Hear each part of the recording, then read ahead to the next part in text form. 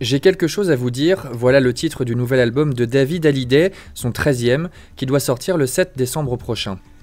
Cette date interviendra seulement deux jours après l'anniversaire de la mort de son père Johnny, ainsi certains y voient un coup de communication, comme le rapporte le site du journal Voici. Il avait présenté son nouveau single Ma dernière lettre le 10 novembre dernier sur la scène des Energy Music Awards. David Hallyday y rendait un hommage vibrant à son père, mais pour des spécialistes comme Luc Angevert, rédacteur en chef de Closer, il ne ferait que profiter de l'anniversaire du décès de la star pour mieux vendre son album. Il dit que c'est le hasard du calendrier, que c'était la seule date possible, c'est carrément mensonger, a déclaré Angevert vendredi soir lors d'une émission sur la chaîne C8. David Hallyday a lui admis que dans un premier temps, J'ai quelque chose à vous dire devait sortir en octobre, mais la date coïncidait avec celle de l'album posthume de son père. David a donc choisi le 7 décembre pour éviter la polémique, c'est raté.